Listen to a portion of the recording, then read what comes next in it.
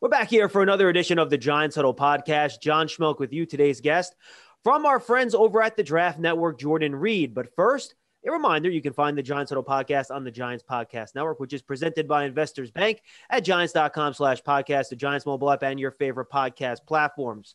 Well, we're joined by Jordan Reid and Jordan. The Giants draft is in the book, six picks. First of all, thanks a lot for being with us and just your overarching 20,000 foot view look at what the Giants did in the 2021 NFL draft. Well, if there was one word I could use to describe it, it definitely would be value and then also unconventional. I know a lot of people were harping on David Gettleman about never trading back. And goes to show you that he listens to the press clippings a little bit. He reads the press clippings a little bit, and that he actually traded back twice, if I'm not mistaken. So that really surprised a lot of people. But I really love the selection in the first round of Kadarius Toney, and I think this is a big year for Daniel Jones coming up. And the best way to figure out what you have in Daniel Jones is to surround him with a plethora of weapons, and that's what exactly the Kadarius Toney brings to the forefront.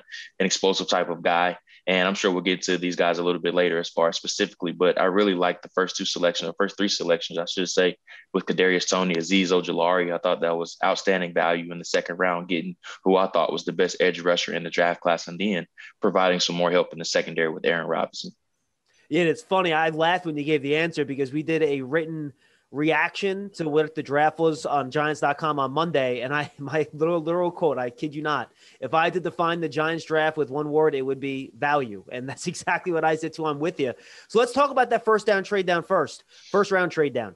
Do you think that the value they got for that 11th pick was as good as they could have gotten?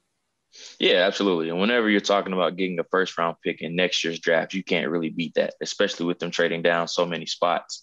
Uh, I believe it was nine or so that they traded nine, down. So, so it, it, was terrific value for them to get a first round pick in next year's draft. I think with a roster that still does need some help uh, on both sides of the ball, and then you're talking about building for the future as well. And then we know the NFC East is really up for grabs right now. We know it's really unpredictable as far as who can win this division on a year to year basis, and now with this being Daniel Jones's third year, David Gettleman has been adamant about surrounding him with protection and then also weapons as well. And that's what Kadarius Toney does bring to the forefront. Um, I was a big fan of Toney coming out, but he, he's very scheme dependent as far as being able to scheme him open. Um, I think of the wide receivers that went in the first round, he's probably the most scheme dependent as far as somebody that you have to figure out some ways just to get the ball in his hands as far as manufacturing touches, uh, just because he's a guy that you have to hold your breath whenever he does touch the ball, just because uh, what I like to say and what I wrote in the scouting report is that he just plays the game as if he doesn't have any bones in his ankles, just because he's making guys miss everywhere. And I'm sure he's going to make you guys say, whoa, a couple of moments this year just because he's lightning in a bottle when he does touch it. I'll tell you what, I had a few whoa moments watching his film. You the one play where he somehow keeps his balance with his hand on the ground for like three steps. Uh, he has another spin move that's just unbelievable. He's breaking tackles. So let's dip into Toney a little bit more here because I think he's an interesting player what are the things that you think Jason Garrett can do to maximize his value? Because to your point, one of my co-hosts here, Paul Dottino, has kind of labeled him a G receiver, and G means for gadget, right? Where it's not a guy yeah. you're just not going to plug in and let him go, you know, run your route tree and we'll throw you the ball. You want to scheme stuff up for him. So, what are the things that you would like to see from Jason Garrett and this offense to maximize the return on investment in Toney? Well, he does have to play from the slot. That's what I will say. He, he ran 78% of his routes, I believe, a year ago from the slot. So he definitely has to uh, thrive in that area just because that's where he really likes to call home. He's not an outside guy. Um, he doesn't have the proper adequate length enough to win consistently on the outside. But when you put him in those advantageous matchups against linebackers, against those slot corners, that's really where you're able to see him the most. And, you know, with Saquon Barkley coming back from injury, you don't really want to put a whole workload on him as far as receiving and rushing. And, you know, they like to flex him out on the slot from time to time. And then they like to give him some of those short dump routes of where he can just do whatever he does uh, once he gets the ball in his hands. But now you have a guy like Toney who can ease a little bit of that workload of where you can really ease Saquon back into it, of where he doesn't have to have 70, 80 catches this year. You can give, uh, you know, 75% of those touches to Toney now to where he can be put in those advantageous matchups of where um, you can put him in a bind or put those linebackers in those slot the corners in a bind. And also he's going to give you value on special teams as well, as far as a punt returner. I think that was an underrated factor that he does bring to the forefront. Do you have any concern about his ability to stay healthy given his style of play? He's only 195 pounds. And if you watch him on tape, he looks like a pinball bouncing off defenders in the secondary. And I go back to a guy like Deebo Samuel, who's kind of a comparison I've used a little bit for him. He's had injury issues, and he's even a little bit of a bigger guy than Toney is, right? So are you concerned at all about him staying healthy given the style in which he plays?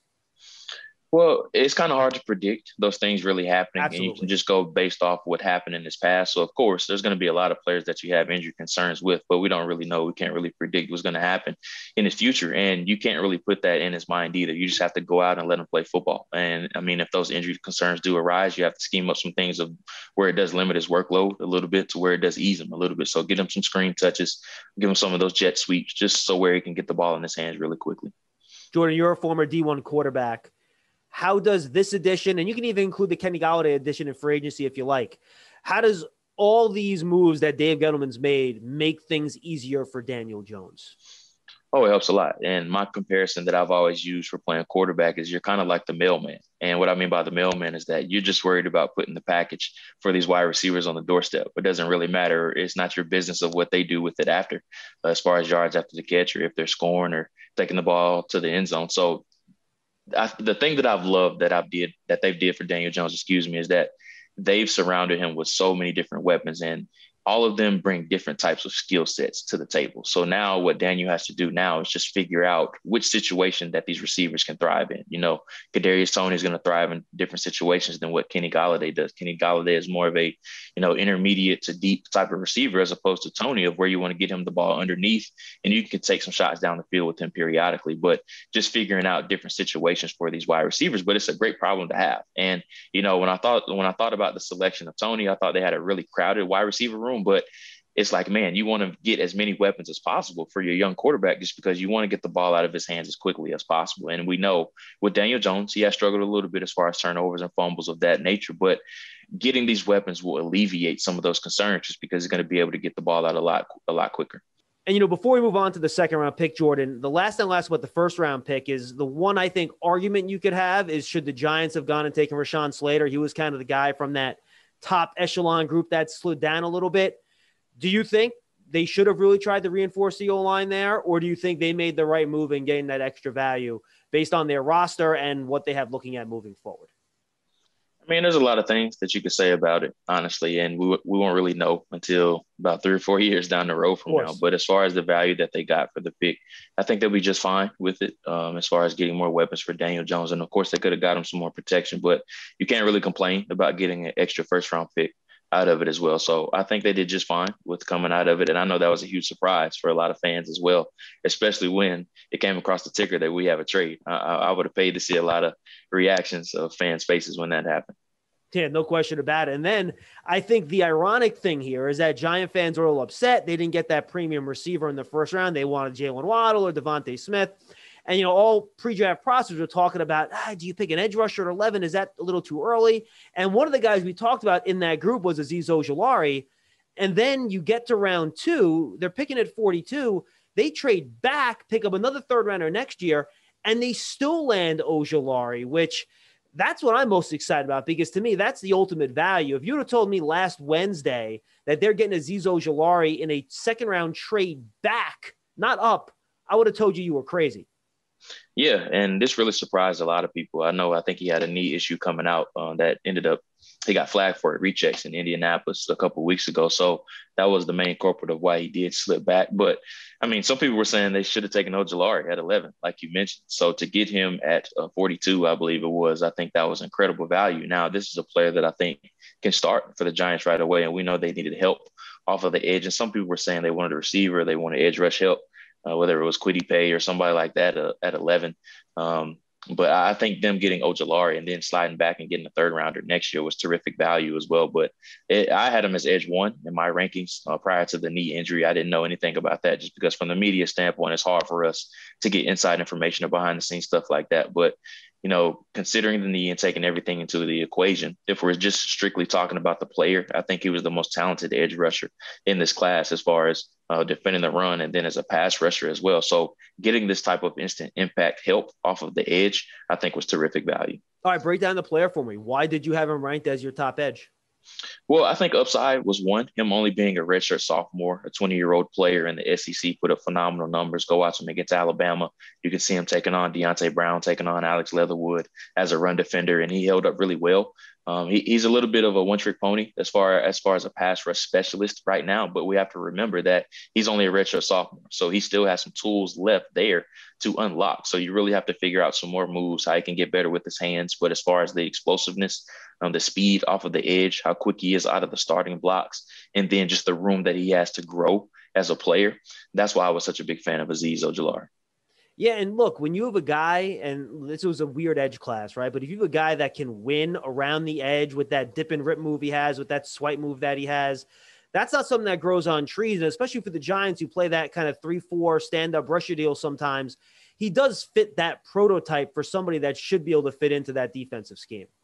Yeah, and he had a play against Arkansas where he actually guarded a running back on a wheel route. And He's like running side by side with him down the sideline, which is really impressive. And you know, in Patrick Graham's three-four system, you have to have guys that can stand up and then also drop in coverage as well. And Ojulari showed that he's comfortable with doing that. And I think that really set him apart from some of these other guys that really probably weren't a scheme fit as far as being able to drop back in coverage I think that was a big weaknesses of some of these other guys as far as them just being five techniques in a four three system to be a, an outside linebacker or you know that four technique in a, in a four three or excuse me a three four system you have to be able to stand out in coverage as well just because that's something that's going to be asked for you periodically. Yeah, I also saw on tape he, he spoiled the screen pass. I'm trying to remember what team was against. Maybe it was Auburn, I think, mm-hmm. where he kind of read that play on a screen, foiled one of those. And it's funny you mentioned we have an inside the firm video feature up on Giants.com right now. You know, one of those Alabama pulling guards came around the edge, and at, you know he's getting outweighed by 70 pounds right on that play. He dips his shoulder into that guard yeah. and doesn't just hold his ground. He backs that Alabama guard back on the pull. Really, really impressive. And that kind of gets me to why I think he does have more upside. You mentioned he's just going to be 21 years old. He's a redshirt sophomore. While he's only 6'2, he's got 34 inch arms, right? So he has the advantage of being a little shorter to kind of do that dip move around the edge, but he has the long arms to keep the tackles off of him. So, in a lot of ways, that combination of 6'2, but those 34 inch arms, that's almost the best of both worlds, right? Yeah, absolutely. Especially when you're talking about defending the run as well, just because I think something that's missing a lot of times with young edge rushers is that they let a lot of people or a lot of blockers get into their body too soon. And what happens is they lose control at the point of attack. You don't really see that a lot with Azeez Ojulari. And it's very rare to find a player, especially at his young of an age, to, to be so conscientious and then just so aware as a run defender. And what you notice is that as the season goes along, he just consistently and continuously gets better. And he had the highlight game against Cincinnati of where he was just able to take over in the Peach Bowl in the bowl game, where he was just phenomenal. So that's something that you want to see, especially leading up to the pre-draft process. And then with these young players, is that you want to see them constantly get better so they can have that momentum going into the pre-draft process of where maybe this kid's football is best days are ahead of him. So that's why I was a huge fan of Ojulari. I think his best days are ahead of him, and you just really you saw that light start to turn on week by week by week. All right, let's go to the third round. Aaron Robinson. They move up to select him. And boy, you watch him on tape. If you want to press corner to play the slot, I'm not sure there's a better guy in this class you could have picked because that's pretty much all he does, right? Yeah, yeah, a really impressive play slot and then also outside as well. I thought he was one of the more impressive players down at the Senior Bowl. Just think about of all the defensive back prospects down at in Mobile, I think he was one that definitely did stand out. Um, I mean, you can watch him in any game last season. He was really impressive, very physical. Uh, that's something that you notice about him as well. Outstanding against the run, not shy at all to come up and tackle, which is something that you know Dave Gettleman does love and something that he's talked about glowingly as far as some players that they have signed and then drafted in years past. So I think with Robinson, though, he's a player that you can play him on the outside or you can play him on the inside, just depending on where you want uh, to see him contribute at contribute at immediately. But we know they hit a home run with the James Bradberry signing a year ago. So just adding a guy like Aaron Robinson, he can give you insurance at a lot of different places. Yeah, I think the one thing that I noticed, I like to get your take on it. He's a very physical player. You like that if you're going to play bump and run and press. But in the NFL, once you get past that five yard mark, those flags start flying. And I even thought, not just on tape, but in Senior Bowl, too, you mentioned, he was very, very handsy, I thought, when guys got the, down the field on him. Did you see that too? And what are the things he can work on to try to clean that up? Yeah, it's just a learning curve for him as far as some things that he was able to get away with. And it's really hard to let up off of guys, especially when you kind of have them in your grasp initially. You kind of do, you want to do what's called finishing them. So just not letting them off the line at all. And that's something that he's going to have to learn. Uh, he could be a little bit of a flag magnet early, early on. They're probably going to put the block, boxing gloves on him in practice just so he can't grab so much. That's something that's uh, popular with defensive back coaches across the league, especially when you have a young quarterback, cornerback that's really handsy the boxing gloves just prevents him from grabbing initially at the point of attack you know, off the line of scrimmage. So that's something we could see them do with him. But um, you know, down the field, it does become a little bit of a problem. But it's just a matter of him just trusting his technique a little bit more, and it just comes with reps, honestly, John. And I think as he continuously gets more reps throughout training camp and throughout preseason, and then eventually in the regular season, I think it's something he'll become more comfortable with. Yeah, and I think the way he complements Darnay Holmes is interesting. They used a fourth round pick on Holmes last year, also a slot player. And I do think their skills actually do complement each other pretty well, right? Yeah, and Darnay was another guy who really stood out at the Senior Bowl a year ago. And you notice that they're starting to put together a really aggressive secondary. And we know with these talented wide receiver corps in the NFC East, you know, you're going to be going up against guys like DeVonta Smith now, uh, Terry McLaurin uh, as well. So there's a lot of different as as far as skill sets and diversity throughout the division that you're going to see periodically. And also, what you notice is that they play inside and also outside. So you have to have uh, some very talented players in both areas uh, across the formation of where you're able to depend upon all of those guys. So Robinson is going to be a welcome addition to the secondary. All right, let's go to the fourth round. Another guy that I thought had a really nice Senior Bowl, Elerson Smith. We saw his teammate too, Spencer Brown, out there. But Smith to me is a guy where you're just betting on continued growth, right? I think he gained 50 to 60 pounds worth of muscle or weight at least. I don't know if it was all muscle when he went to Northern Iowa, showed up as a wide receiver, played defensive end, long, you know, live. He can get around the edge. You know, you're probably not going to use him on first and second down or on the goal line anytime soon. But this is a guy that has a pass rusher's body, Jordan. What are some of the things he needs you think needs to clean up and improve on to continue to improve to take that next step into the NFL?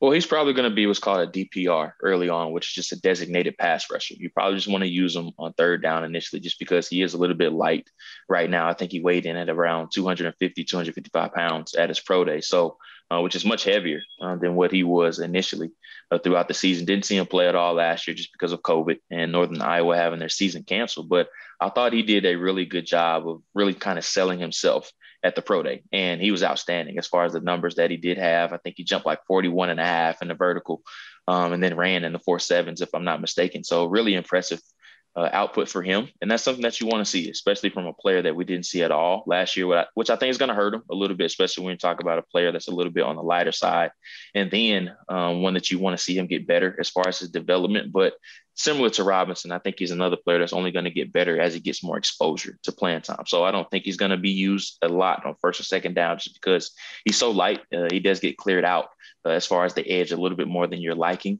Um, just because he is a little bit light, doesn't really have a lot of ground to stand on right now. But as he continues to gain weight, um, and then you start to use him a little bit more, and he shows himself on third down and earns some first and second down snaps, I think he's only going to get better.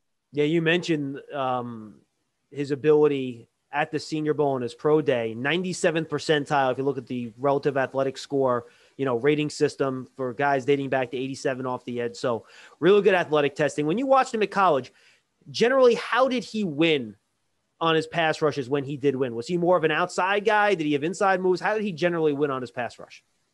Well, it was a combination of a lot of things. I think he was absolutely the best athlete on the field. So what you notice is that he did a lot of what I like to call out athleting people. That just means no, just exactly running what up. you mean. Absolutely. just yeah. So he he was the best player on his high school team. He's just running all over the field, out athleting everybody. That's a similar thing that you see on the FCS level, where he wasn't using his hands a whole bunch. He was just running as fast as he could up the apex of the pocket, and then just turning the corner and just absolutely closing on the quarterback before those offensive tackles could even get a hand on him. So that's something that you notice a lot with him. Now he needs to take that next step in his development of where he has a go-to move, and then once he gets that go-to move, now let's establish a second and a third move, and then let's do what's called uh, just having answers to offensive tackles that are going to start to get their hands on him. So that's the next step of his development and, and the next level that you want to see unlocked with him.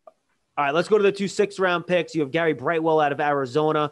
They talked about him a lot as a special teams player in their in their press conference. Re- finally got that full time job at Arizona uh, as a senior. Your thoughts on him? Is he a guy that you think could eventually break into the running back mix, or do you think he's mostly a, one of these, you know, do everything core special teams player? Which, by the way, could find him a room, a spot on an NFL team yeah. for a real long time. I think it's initially going to have to come as a special teams guy, just because we know with Saquon, he's going to be the bona fide guy at the top of the depth chart, and there just isn't a lot of carries or even rece- receptions for him anywhere, especially now factoring Kadarius Toney and Kenny Golladay as well. There's just not a lot of footballs there for him the the Giants are very deep as long as, as along their wide receiver corps, and then you have uh, what I like to call that alien coming back in the backfield with Saquon Barkley. So there just isn't a lot of touches for him uh, right now. So it's probably going to have to come on special teams initially, and it's not just as a returner. I mean, he can be on every single unit as well. Maybe that's a way to show and gain the coach's respect of where he can take over those Wayne Gallman snaps that we saw from a year ago. So maybe he can get that that running back two or running back three spot eventually.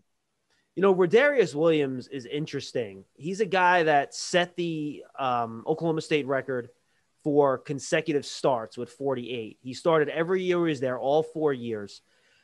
Why do you think he slid to the sixth round, given his level of experience? Look at some of the underlying metrics in his senior year. He played really well. You're just your thoughts on what you saw from him on tape and why he made it to the sixth round. Well, I think the biggest thing is probably his age. I think there was a lot of teams that a lot of teams that probably weren't comfortable with it. Him being a 25 year old rookie, that probably eliminated him a lot from a lot of teams' boards, just because there's a lot of teams, especially ones that are more analytically driven, that really like those younger players, 20, 21, or 22 years old, that's really in their neighborhood. So him being 25, I think that probably eliminated him off of a lot of boards. But as far as a player, very intriguing player as far as a late round guy. I think he's very polished in his technique. I think he needs to get a little bit better as far as exiting phase and then turning and running and remaining sticky with wide receivers down the sideline. That's something that you want to see uh, with him do a little bit better. Um, his production could have been a little bit better too, as far as interceptions. He had a, a, ton of dropped interceptions on tape of where his stats could have looked much better, but he had a lot of pass deflections and a lot of pass defense. That's what you notice about his stats of where he just wasn't finishing. So just the combination of being able to finish plays with interceptions or turnovers and then his age, I think factored into a lot. All right, Jordan, two more questions for you. One, and this is going to sound crazy, but I've actually gotten mailbag questions from giants.com about this. So I have to ask somebody that, that knows what they're talking about. Next year's draft class, do you have any idea where the strengths are? Giants fans are all excited they get two first round picks. So what should they start thinking about about a year out from the 2022 draft? So I haven't studied uh, any of the cornerback or quarterbacks, excuse me. Um, I haven't studied pretty much any guys at all right now, but just looking over uh, some of the notes, of course, I think edge rusher is definitely one that is very uh, deep right now. Um, and I think cornerback is one that would be very deep as well. Just looking at some of the names and then some of the the standout sophomores that I've seen on my list. So edge rusher and cornerback are two that I think are really expected to be really deep. Hey, two premium positions. Can't go wrong with that. And now, finally, you mentioned at the start of, the show, so I, uh, interview. I guess I should ask you this too. NFC East now, man. I mean, this thing's wild every year. You haven't had a repeat winner in more than 15 years back when Donovan McNabb and Andy Reid did it with the Eagles, going back that far. Your thoughts on what this division is going to look like this year and what the Giants' chances are? We don't know. That's the great thing about it, John. Like you said, there's no, there hasn't been a repeat champion in a long, long time. Washington looks really good on paper as far as their defense. They've had a really nice offseason. Uh, they won it last year. So I think Philly's in a bit of a rebuilding mode, trying to turn over their roster a little bit. I think Dallas is going to be better now that Dak Prescott is back, and then they have some some more arsenal uh, things that they have added to their arsenal. But I think the Giants are in really good standing. It's just a matter of that next step with Daniel Jones. I think that's really what this next season really is going to be heavily heavily relied upon. Just can he take that next step? Can he limit the turnovers and can he figure out a way to distribute the ball to these plethora of weapons that David Gettleman has really offered him at, at his disposal? So I think the Giants can be in contention. I think the defense is going to be better. I like what Patrick Graham was able to do last year. I think he surprised a lot of people with the the output that he was able to get from this defense. So I really like what they have added on that side of the football um, and then the offensive additions that they have made as well. But it all comes down to number eight if he can take that next step. And Giant fans looking forward to see it. Jordan, awesome stuff. Tell the folks where they can find you on Twitter and where they can find your work and everything you guys are doing over there at the Draft Network. Yeah, so you can find me on Twitter at Jordan underscore Reid. That's J O R D A N underscore R E I D. You can find my work on the draftnetwork.com. Uh, we're going to reset our mock draft simulator probably in the next week or so for those of you that want to go ahead and get started on 2022. You don't want to waste any time. Uh, so you are able to do that. We have recap articles coming out every day as far as every draft class. And then there's plenty of other stuff that's going up every day as well. So go check that out at the thedraftnetwork.com. Yeah. And guys, we've had their writers and analysts on all year Kyle Crabbs, Joe Marino, Benjamin Solak, Trevor Sikkema. The guys do a great job. Make sure you go check it out. Jordan, stay safe, my friend. Please get some rest before you start looking at that 22 tape, please. Absolutely. I'm going to take the month of May off and then get back at it in June. Thanks so much for having get, me, get John. back at it, man. Go on vacation. Have a good time. That's another episode of the Giants Huddle Podcast for Jordan Reid. I'm John Schmeelk. Thank you for joining us. As a reminder, it's on the Giants Podcast Network presented by Investors Bank. We'll see you next time, everybody. Thanks for being with us.